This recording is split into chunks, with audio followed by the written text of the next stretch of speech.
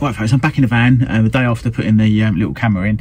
I've been out this morning, just done a couple of little um, little jobs, and uh, gotta say, it has made parking the van a lot easier.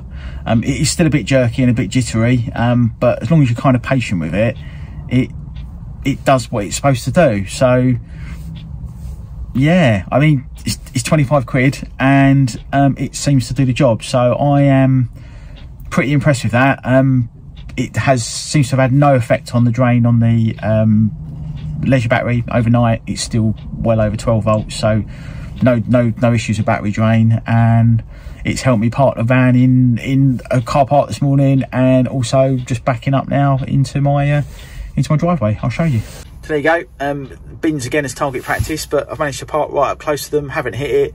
Um, it wasn't that jerky coming back.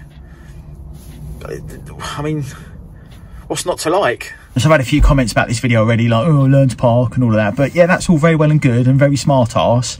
But rather than have a really expensive insurance accident, which is what this would be, both for the van and whatever it hits, why would you not just spend 25 quid when the technology is available? Get your head out your ass.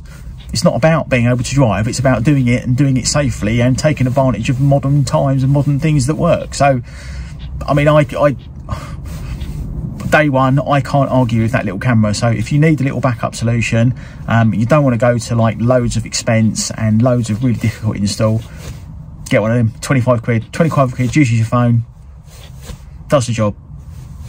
You, you, literally cannot argue with that. I mean, how long it lasts again is, a, is, is anyone's guess. But even if it packs up after six months, I'll just buy another one. It's 25 quid. So yeah, it's a thumbs up from me for the Chinese dodgy cheap camera. Um, if you need a backup solution, go and get one.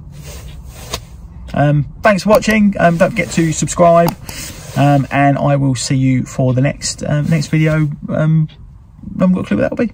See you soon. Cheers.